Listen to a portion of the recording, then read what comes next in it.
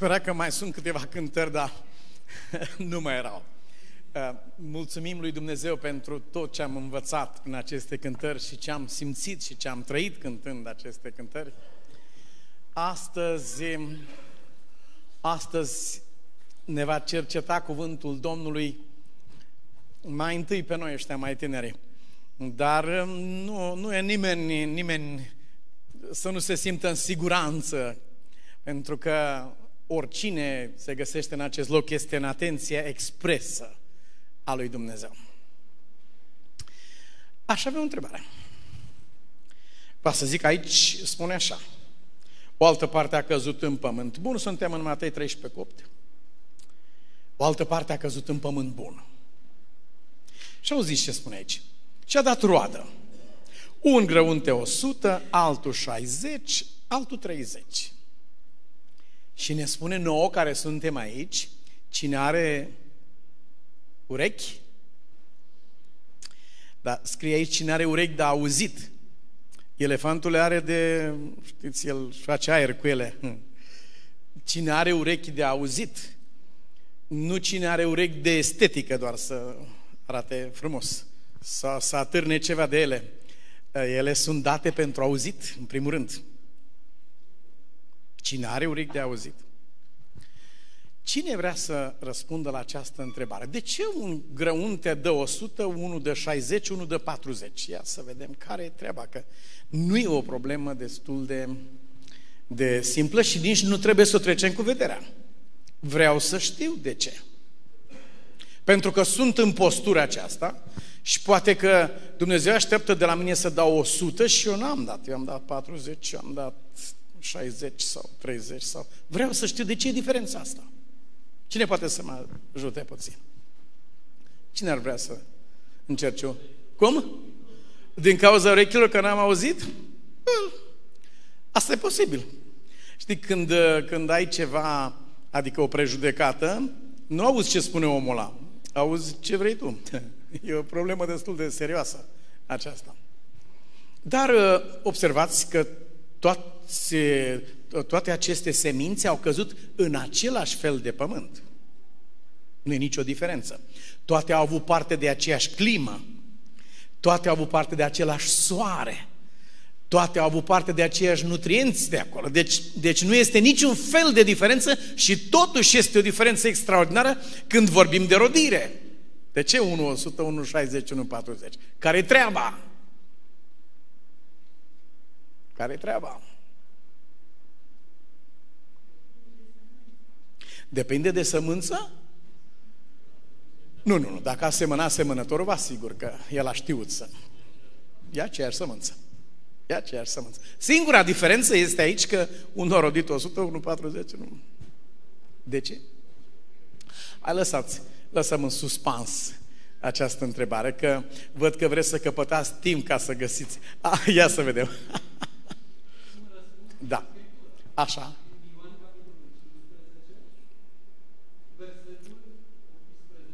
Da.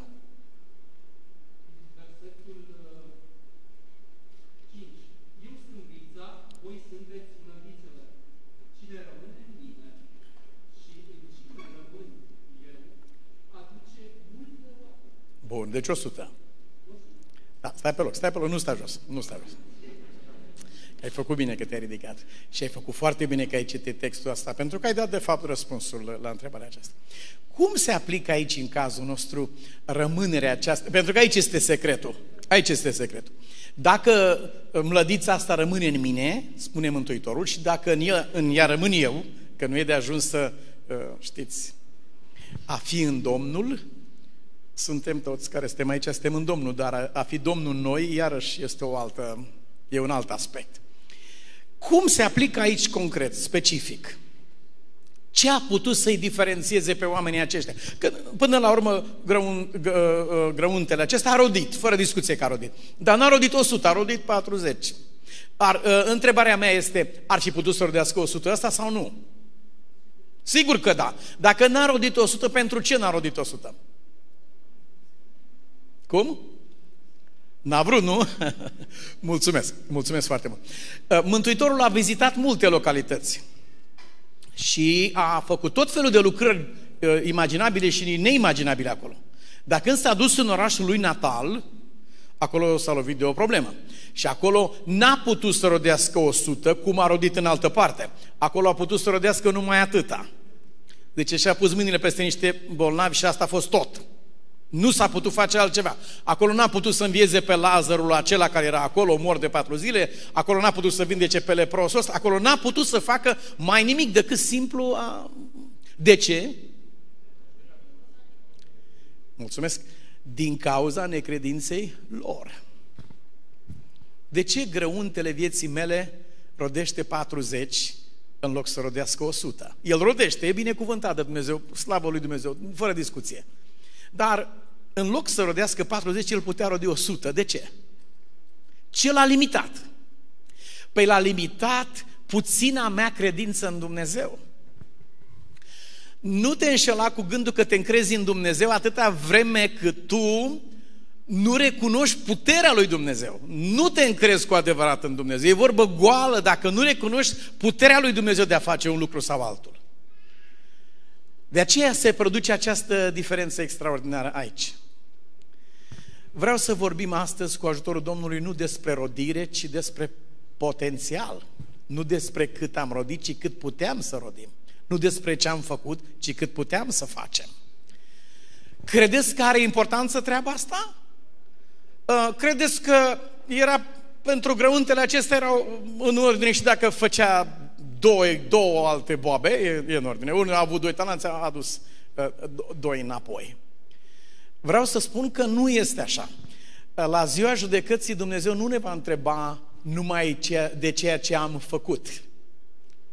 Cine va întreba sigur de ceea ce am fi putut să facem. Asta este, uh, are două componente.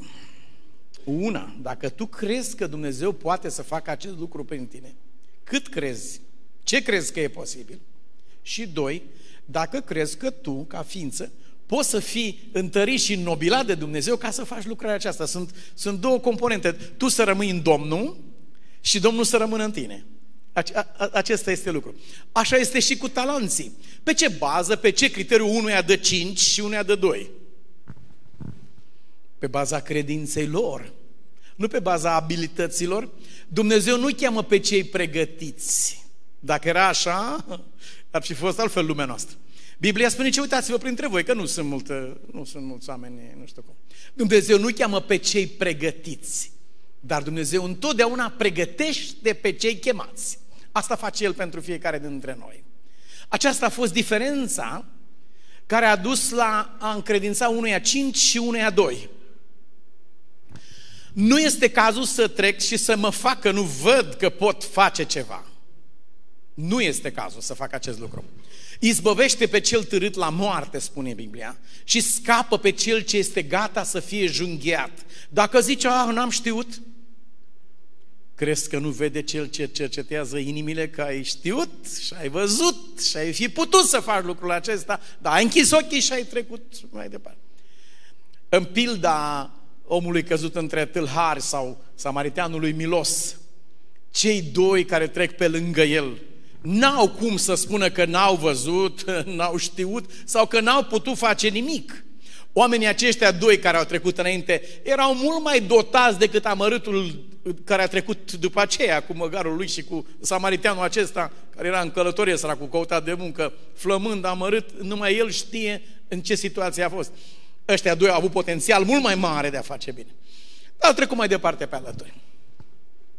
Ne-a ajutat Dumnezeu și am făcut niște pași frumoși în credință. Ne-a ajutat, ne-a păzit viața, ne-a păzit de fel și fel de lucruri. Întrebarea nu este aceasta astăzi, ci întrebarea este dacă aș fi putut să merg mai sus în credință. Întrebarea este nu la câți oameni am mărturisit, ci dacă aș fi putut să mărturisesc încă unui suflet. Cine dintre voi ați văzut uh, Schindler's List, se numește filmul, uh, lista lui Schindler? Ați văzut, bravo, mă bucur. Este vorba de un om care se numește Schindler. Este german, este austriac și el, în afară de faptul că nu participă la masacrarea evreilor în lagărele de concentrare naziste, Omul ăsta organizează o operațiune extrem de riscantă. Putea să fie împușcat oricând pentru treaba asta. Putea să fie împușcat oricând. Și salvează sute și sute de evrei într-o fabrică pe care o inventează el de vase, de emailuri, de uh, tot ce se mai poate face pe pământ, scapă pe unii, alții sunt împușcați, nu pot să fie scăpați. Este suspectat, uh, mituiește pe acești cruzi uh, uh, ofițeri germani cu diamante, cu aur, cu tot ce are pe lume, vinde tot, vinde tot, ajunge până la urmă când întreabă pe contabil, domnule, mai am ceva în cont, nu, nu este nimic, a spus, ești bankrupt, ești, ești, ești în faliment. Ai terminat, ai cheltuit tot, s-a, dis, s-a dus tot. Uh, S-a anunțat armistițiul, în noaptea aceea s-au adunat toți oamenii scăpați de el acolo, au avut loc niște scene mișcătoare de mulțumire din partea lor către el că le-a scăpat viața, dar ultima scenă din film este omul acesta care pleacă, omul ăsta a fost un personaj real, vreau să vă spun, nu este o poveste luată din, de, omul ăsta a trăit, Omul acesta a fost, este mormântat în Ierusalim, s-a sădit un pom în dreptul lui, este numit um, cum, să nume, cum, cum este termenul ăsta evreiesc, drepții dintre neamuri, care a fost um, the righteous, uh, uh, uh, drepți între popoare. Este numit neprihănit între popoare, cu toate că el nu este evreu, dar el este acolo și este un, uh, în amintirea unei generații și întregi de oameni. Dar se încheie, uh, se încheie descrierea aceasta foarte grafică a, a uh, unei, unui atât, unei atât de riscante operațiuni, se încheie cu omul ăsta că, absolut real ceea ce discutăm acum cu omul acesta, punându-și mâinile în cap și zbătându-se și gândindu-se ce puteam să fac să mai scap măcar încă un... Îi cumpăra pe bani pe oameni. Plătea pentru fiecare om pe care îl scăpa, îl plătea cu bani. Dar s-a ajuns complet falimentar. Și când pleca de acolo, a descoperit că avea la cravată un ac de aur pe care îl purta acolo și s-a gândit că acest act de ar fi putut fi vândut probabil cu suma de bani cu care putea să mai câștige one more soul, încă un suflet, încă un suflet. Încă... Și își zdrobea sufletul pur și simplu gândindu-se la lucrul acesta. Uite, mai puteam să scap încă un om. Mai puteam... Lasă, domne, felicită-te că ai scăpat atâția oameni. Băi, frate, mulțumesc lui Dumnezeu că am scăpat atâția oameni. Dar mă doare sufletul când mă gândesc că undeva a murit cineva pe care totuși puteam să-l scap. Dacă eram mai atent, încă mai aveam ceva de vândut. Încă mai era ceva care puteam să dau. De câte ori ne impunem noi singuri limite prin faptul că folosim aceste nemernice scuze. Mielene să mă scol, mielene să mă duc, mielene să mă gândesc, mielene să fac un lucru, nu am, nu vine. De cât am văzut o carte în Statele Unite, foarte, un titlu foarte sugestiv, uh, Scuzelor duceți-vă pe pustii. Exact așa se numește cartea. Pe pustii duceți-vă. Știți voi ce înseamnă asta, duceți-vă, cui mai zice, du-te pe pustii. În, în sensul acesta ar trebui să luăm asupra vieții noastre o clipă de cercetare și să ne întrebăm dacă scuzele noastre sunt reale. Dacă e adevărat, ce zic eu? Dacă e adevărat că nu pot, dacă e adevărat că nu am, dacă e adevărat că pot numai atât, dacă e adevărat că. Și dacă stau să mă uit mai atent, nu cred că rămâne în picioare niciuna din scuzele mele pe care le-am așezat în calea împlinirii planului sau lucrării lui Dumnezeu cu viața mea. Asta vreau să vorbim, iubiți tinere. Luați cu voi acest lucru și fiți disciplinați cu voi înșivă. Nu, nu puneți ținte joase din astea comode care să... Puneți ținte înalte pe care nici, să nu, nici tu să nu crezi că poți să atingi așa ceva, dar știi cine te poate ajuta, uh, cum spune Biblia, să fii mai mult decât biruitor în acela care ne-a iubit.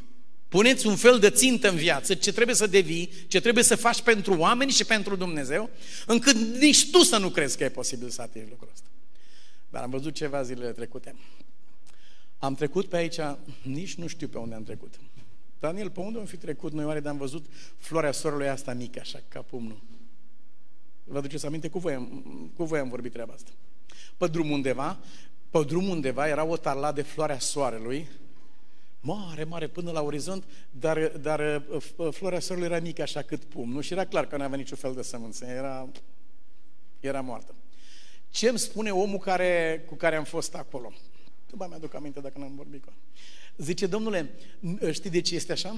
N-a căzut ploaie când trebuia să bage bobu. În, asta n-a fost ploaie, atunci a fost secetă în perioada aia. Pentru că altfel crescusere așa de înalte, așa de înalte erau și era până la orizont, toate au răsărit, toate au crescut, numai că era atâta.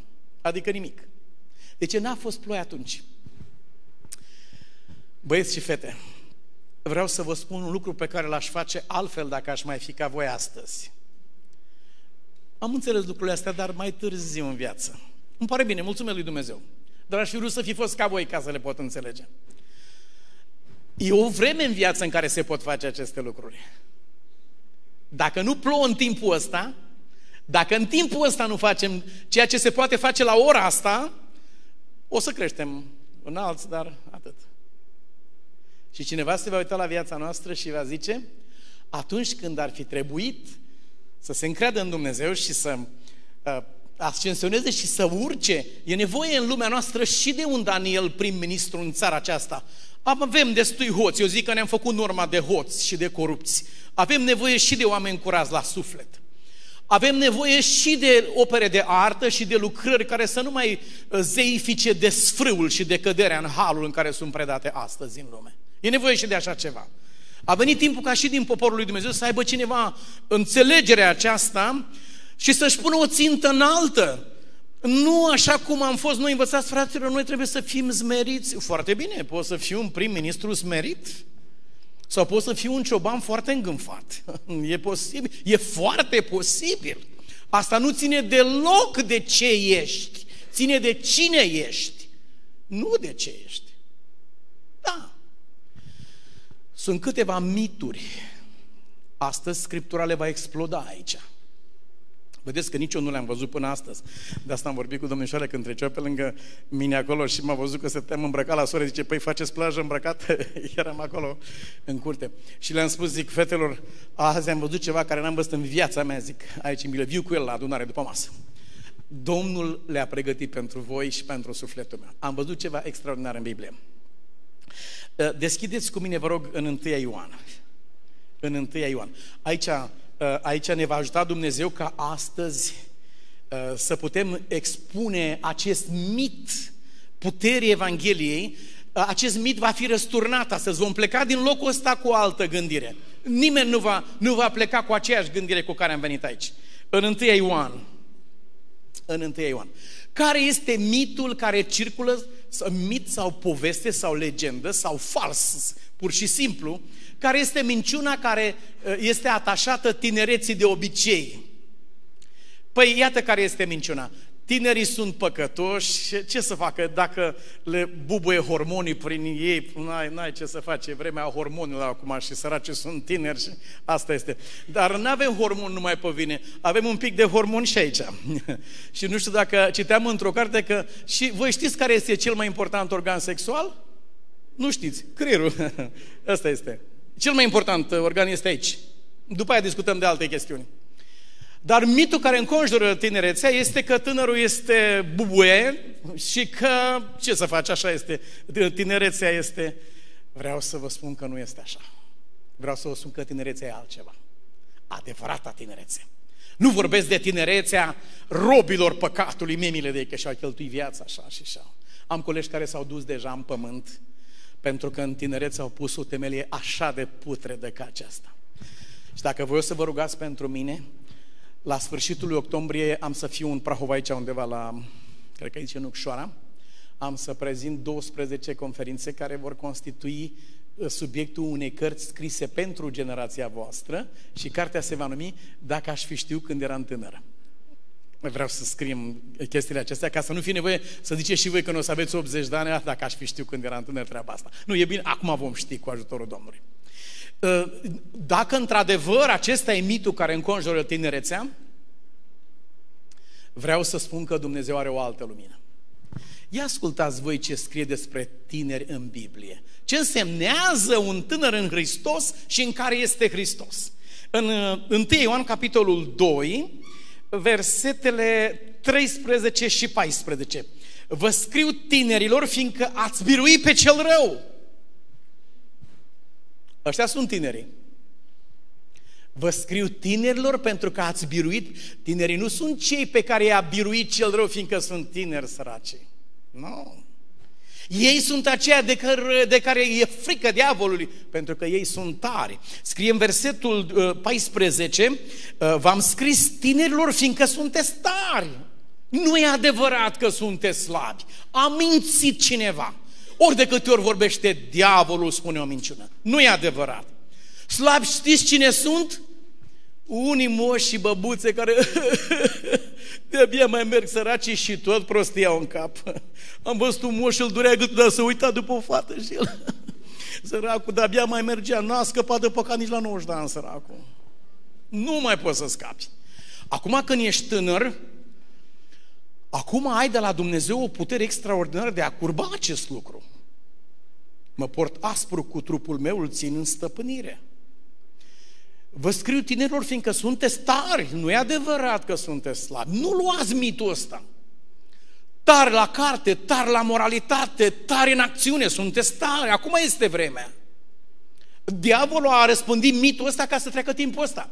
După ce s-au scurs energiile și viața dintr-un om, după aceea diavolul spune, acum poți să fii tare dacă vrei, dar ce să, cu ce să mai faci lucrul ăsta, că nu mai s-a terminat. Vă scriu că sunteți tari și cuvântul lui Dumnezeu rămâne în voi. Adică țineți minte, vrea să spun aici. Rămâne aici. Rămâne în memorie. Pe vremuri, pe vremea puritanilor în America, dacă unul deranjai la biserică uh, slujba, te duce la tribunal. Și așa i-a dus pe vreo trei băieți, că în timpul predicii n-au fost cuminți, i-a dus la tribunal acolo, i-au... Uh, e real lucrul ăsta, te ducea la tribunal, deci n-aveai ce să faci. și i-a dus la tribunal să-i condamne, îi dedea, le dedea muncă, îi punea să muncească pe șanțuri, pe în copaci, pentru că a deranjat uh, slujba la biserică. Și pastor era acolo și doi prezbiteri de la biserică era acolo și i-au acuzat pe băieți ăștia și a spus, uite, ăștia au râs în timpul slujbei, a făcut lumea să se uite la ea, au deranjat uh, slujba acolo. Extraordinar, au deranjat predica. Da. A ajutat judecătorul și a întrebat, bă, băieți, așa ați făcut, așa am făcut. E adevărat.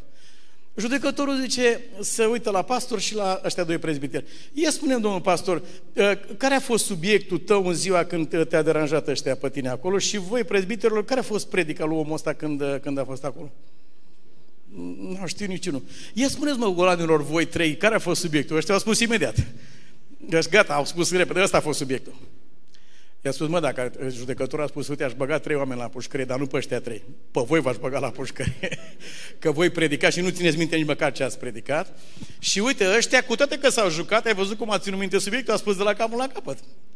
Aici în Biblie zice, vă scriu pentru că sunteți tari, cuvântul Domnului rămâne în voi.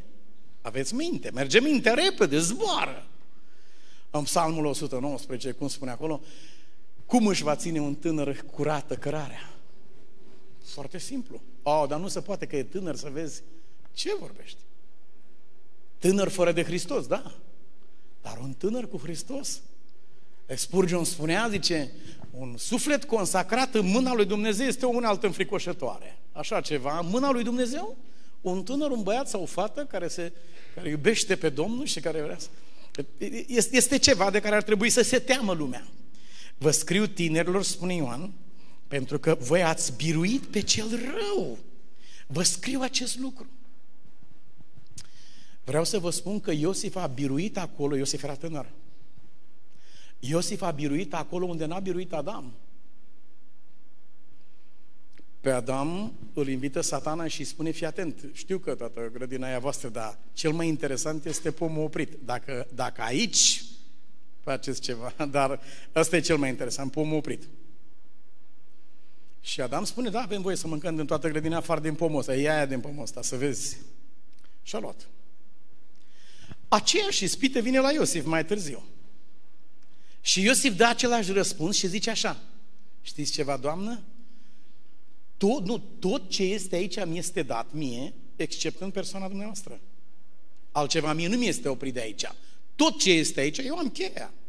De la visterie până la cămară, tot, am, am tot.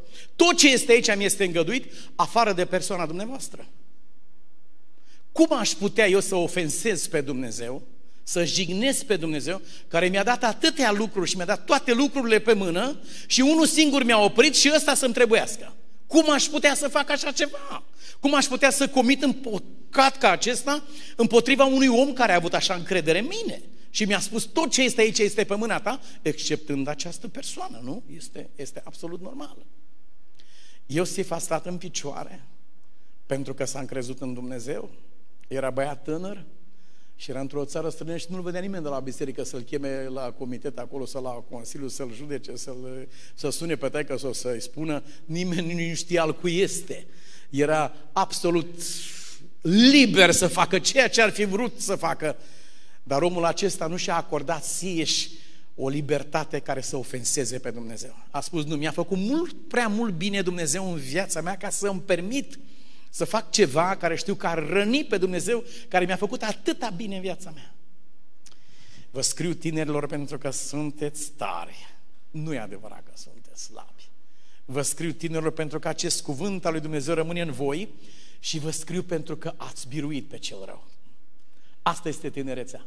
Eram ca voi, eram ca voi, dădeam bacalaureatul aici în orașul Târgoviște. Și locuiam la gazdă și gazda unde locuiam eu ce? Unde locuiam? Era o căsuță într-o livadă cu meri, cu două camaruțe, cu două cam... Era separată o casă așa, foarte... Uh, acolo eram singur, locuiam singur, singur, într-o cameră acolo și mă pregăteam intens pentru bacalaureat pentru că vroiam să merg la seminar și să pot sta în fața voastră și să predic Evanghelia după aceea. Și dădeam examene serioase. Când vin de la școală, surprins, foarte surprins, se mută lângă mine cineva, că mai era o cameră alături, erau doar două cămăruțe într-o livadă și cineva se mută lângă mine. și spunea un pastor negru, zice, când Eva se plimba prin grădină, zice, șarpele a salutat-o dintr-un copac, a zis, hai! Așa am auzit și eu când, când se intră în casă, deodată, hai! Cine să muta? O tânără domniță ingineră să muta vecină cu mine. Noi doi într-o livadă de mere acolo, vă dați seama. să tot stai la gazdă, să tot locuiești cu chirie în condițiile astea, nu? nu? Totul. Și eu, băiat creștin, repede ajutător, arunc ghiozdanul și tot, mă îmbrac și îi ajut să se mute și aranjăm toate acolo. Și când mă vede așa amabil, nu, Ultima dată trebuie să aduc o găleată cu apă, că nu aveam apă acolo, trebuia să luăm puțin de la o cișmea de acolo. Lăsați că mă duc eu, gata, repede, alerg la, la drumul la robinet, iau o găleată cu apă. Când am întorc la... Era spre seară, muncesem toată ziua acolo. Era spre seară și mă întorc la uh, camera dânsei acolo lângă mine și îi dau, uh, îi dau găleata cu apă. A luat găleata cu apă, dar m-a prins și de mână și m-a tras în casă. și m-a tras în casă și după aceea a vrut să mă tragă în pat. Și eu nu prea știu multă carte, dar totuși am avut un pic așa de... Și am reușit să trag mâna înapoi și am spus, Doamnă, găleata aia dumneavoastră, mâna e mea. Așa. Și, oh, dar ce s-a întâmplat? Mm, era să se întâmple, dar nu s-a întâmplat nimic, zic. nu s-a întâmplat nimic. Și am spus, eu sunt creștin, dar și eu sunt creștină. Nu cred. Poate sunteți pe cale, adică mă bucur. Mă bucur foarte mult. Dar uh, vreau să vă spun că s-a mutat imediat. După, după două, trei zile s-a mutat din locul ăla. N-a stat decât vreo trei zile acolo uh, la gazdă. Și am mai văzut-o după aceea. Și am spus să rămână și am spus bună ziua. Și astăzi, dacă ne întâlnim pe undeva prin oraș, salut foarte frumos. Dar mi-a rămas în suflet cum a luptat Dumnezeu pentru mine când eram un copil fără minte. Mă gândesc că astăzi unde ar fi deraia drumul vieții mele dacă nu era acest Știți că vița este pe arac. Dacă nu era acest stâlp tare care m-a ținut să nu cad la pământ, să nu... Că avem și o hormon pe vremea, nu știu cum, mi se pare că și acum. Da? Și cu toate acestea Dumnezeu a avut puterea aceasta să-mi ajute în clipa aceea și am rămas cu o bucurie pentru restul vieții. Nu știu pe unde ar fi evoluat drumul vieții mele, dar știu sigur, știu sigur că n-ar fi fost același. Iar astăzi se descoperă în Scriptură că tinerii nu sunt deloc slabi. Tinerii sunt tari. Dacă diavolul vrea să vadă pe cineva tare, să se ducă să încerce să ispitească un tânăr în Hristos și atunci va întâlni pe cineva tare cu adevărat.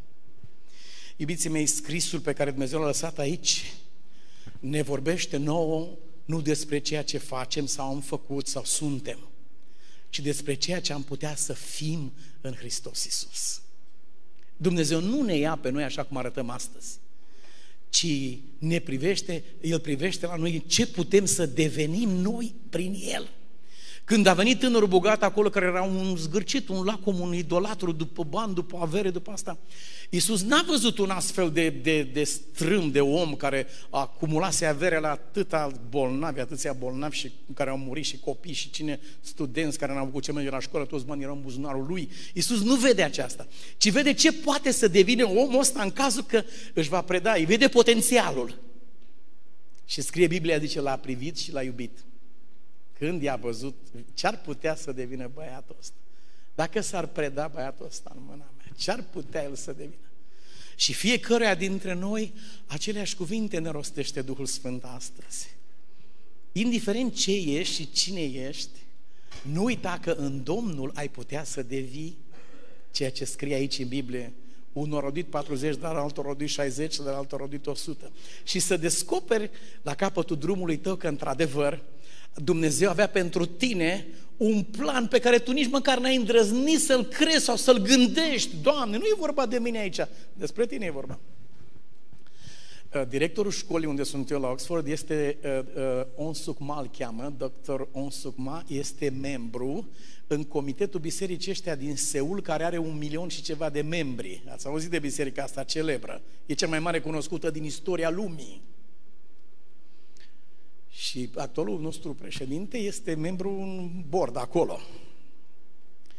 Numai că am avut harul cu, înainte să cunosc pe acest uh, om, de mâna căruia vreau să vă spun, nu știu, dar, dar nu e zi să te întorci la universitate ca să nu vezi ceva făcut de mânuța omul ăsta. A, a făcut ceva, iară, iară s-a mișcat ceva, iară a dezvoltat ceva, iară a creat un plan, iară a creat un program, iară caută un om pentru nu știu cine. Nu există nicio zi, nicio zi în care omul acesta să n-aibă un nou orizont. Te aștepți dimineața când vine la anunțuri, e așa de umil, e atât de umil când vine la anunțuri ușor, ia microfonul, și gata, ești pregătit de recrutare, urmează să te, să te trimită undeva sau a pregătit ceva precis. Am cunoscut însă pe soția doctorului Cho la Loma Linda, în California, în sudul Californiei, cu câțiva ani înainte. A predicat într-o biserică și am fost și eu acolo. Cineva a întrebat, domne, cum a început biserica asta de un milion și ceva de oameni într-o singură congregație? Au universități acolo, au școli, au misionari, au martiri, oameni care au murit în Thailanda, în Vietnam, în Asia, predicând Evanghelia. Sunt, sunt afișați tineri acolo care și-au dat viața pentru lucrul ăsta. Ce a devenit, ce este această biserică, este, este, este de neimaginat.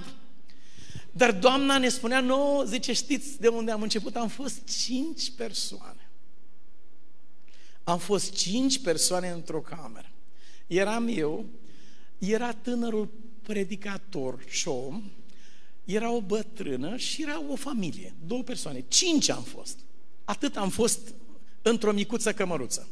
Și doctorul ne spune că vrea să începem o lucrare pentru cea mai defavorizată categorie de oameni din mahalalele Seulului, de, de acolo de unde oamenii sunt pur și simplu împinși de viață, dați la marginea societății.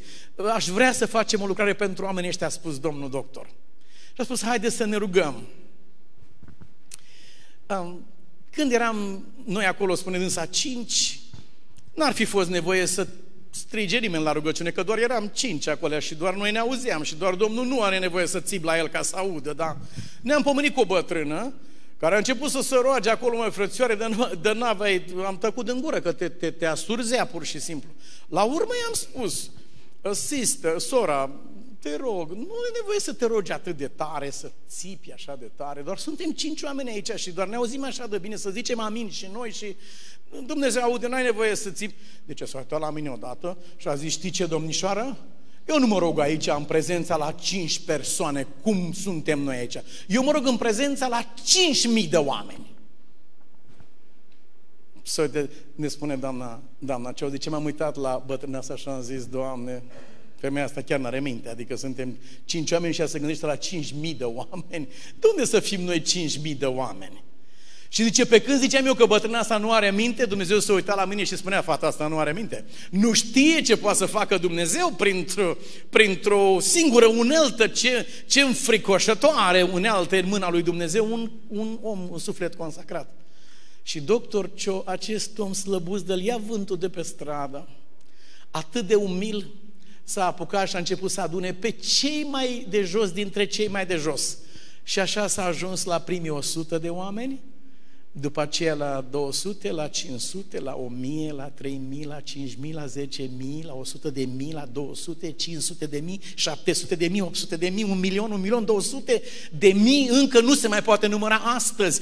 Au în jur de 70 de mii de, de diaconi care sunt acolo de zeci de mii de învățători în diverse grupe, fiecare grupă are 12 oameni, cum a crescut, tu formează o nouă grupă.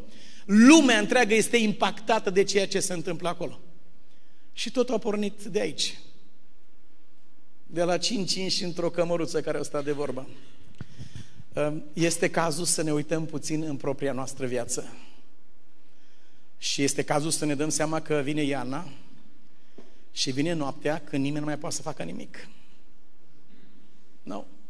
Cât este ziua, scrie în Biblie, sunt chemat să fac lucrările tatălui meu. Vine noaptea când nu o să se mai poată face nimic. Așa că, iubiții mei, mă rog din tot sufletul ca Dumnezeu să vă binecuvânte pe voi aici și să ne binecuvânte pe fiecare dintre noi. Și niciodată să nu vă așezați așa cu mulțumire pe scaunele astea aici într-o clădire nouă și stați aici frumos, e program frumos și vă întâlnește cineva când plecați de aici. Acum a fost frumos la biserică. Ar fi bine să te întâlnească cineva că te duce acasă supărat sau plângând pe drum. Ce ai pățit? Ce v-a făcut Dumnezeu? V-a bătut acolo sau ce v-a spus? Și să-i spui. M-am gândit nu la ce am făcut, ci la ce puteam să facem. Planul lui Dumnezeu cu locul ăsta, cu fiecare dintre noi, e mult dincolo de cele mai înalte aspirații ale noastre. Planul Dumnezeu cu viața, lui Dumnezeu cu viața mea, cu viața ta. Ce a scris El în carte în dreptul nostru, e un singur lucru care va împiedica realizarea acestui lucru și anume necredința noastră sau puțina noastră credință. De asta un boba un produs 40, unul 60, unul 100. De asta unuia a fost dat 5 talanți, unuia 3, unuia. Din motivul acesta. Dar astăzi, iubiți frați, nu suntem chemați să ne uităm la propria noastră ființă, ce am făcut noi până acum și ce am putea face noi mai departe. Dacă facem lucrul acesta, vom merge mai jos de unde am fost până acum, cu cât ne uităm la propria noastră făptură. Dacă ne uităm la ceea ce ar putea face Dumnezeu prin noi, atunci vreau să vă spun că se va împlini cu noi ceea ce scrie în Biblie, creșteți în toate privințele, creșteți în har, creșteți în cunoștință, numărul ucenicilor se mulțea, creștea un Domnul. Dumnezeu să ne ajute să putem crește într-adevăr în El la statura plinătății, ă, de maturității acestea de om mare în Hristos Iisus. Domnul să vă binecuvânte, fraților, și să ne ajute că atunci când ne vom întâlni să putem să fie auzit vești bune unii despre alții. Pentru că Dumnezeu are rezervate mari și minunate lucrări pentru fiecare dintre noi. Ce faceți voi cu ce ați auzit aici astăzi în seara asta? Ați fost la predică? Da. O familie din Mureș a zis, după ce s-a terminat o predică asemănătoare, în care a menționat că e chiar acum pe autostrăzi în America, pe, pe reclame mari de tot, este o doamnă care are 90 de ani și care a absolvit universitatea, are o diplomă în mână, așa, și arată... E cel mai în vârstă absolvent de universitate din America, are 90 de ani. Și am spus în, în, într-o predică de felul acesta, am dat exemplul acesta. Și este o familie acolo, Mureș, el a fost boxer în viața lui, dar acum este e mare creștin. Și după ce au ascultat ei predica aceasta, el se întoarce către soția lui, care avea vreo 40 și ceva de ani și spune așa, deci Monico, așa se încheie orice predică, ascultarea predicii așa se încheie cu expresia asta. El reia ideea din predică și eu mai predic o dată nevestei lui. Și zice, deci Monico, spune el, tu trebuie să mergi la medicină la Cluj. Și femeia stătea și oile de colea să le lăsăm să moară de sete, vacile care le avem în grădină să moară legate acolo și eu să mă duc la medicină la Cluj. Măi, băiete, Monico, treaba ta, zice. Nu te împotrivești mie, te împotrivești Domnului, treaba ta. Deci eu nu, eu n-am nimic. Deci eu nu pot să mă duc la Cluj că nu mă aminte. M-a bătut ăștia în cap, eu nu ți minte nimic. Da, treaba asta am înțeles-o.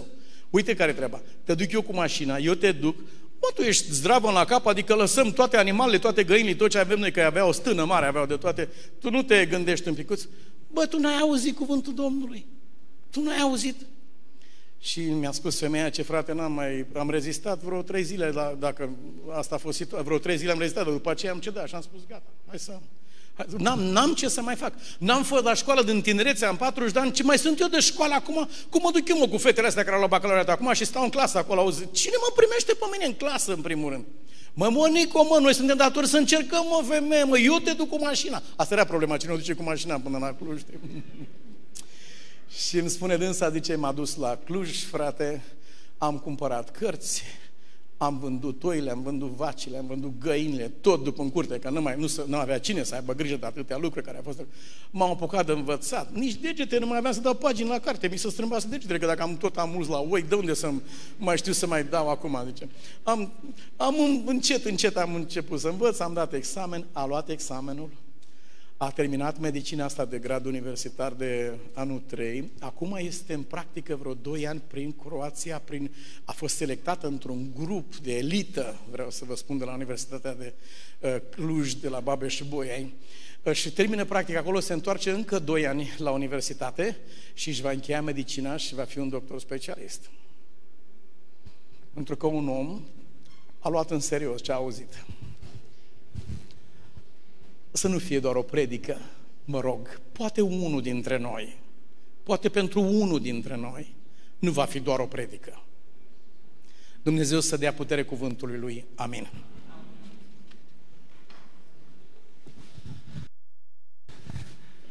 Așa este.